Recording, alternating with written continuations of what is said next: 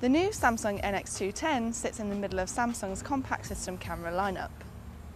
It has the same body, layout and 20.3 million pixel APS-C size sensor of its predecessor, the NX200, but comes with the addition of integrated Wi-Fi.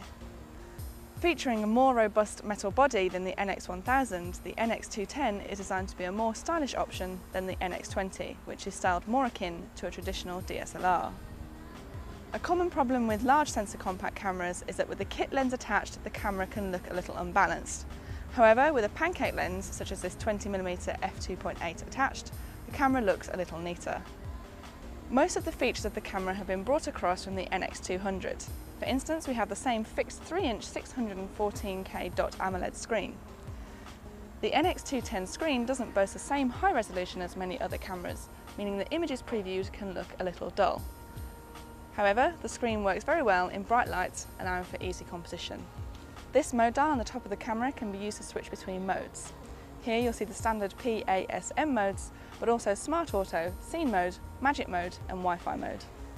Magic Mode provides a number of smart filters and magic frames to help those looking to get a bit more creative with their images.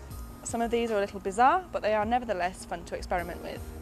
It's worth pointing out that images shot in this mode can only be shot in JPEG, meaning removing a filter in post-production won't be possible. The Wi-Fi functionality of the camera can only be accessed via the Wi-Fi mode. Here you'll find various options such as social sharing, email and remote viewfinder. This allows the camera to be paired up with a smartphone or tablet to control the camera remotely. We could see this being a really useful function, especially for wildlife photographers and the like. Unfortunately, however, the remote viewfinder only offers extremely limited functionality, giving control over the shutter release but not any of the camera settings.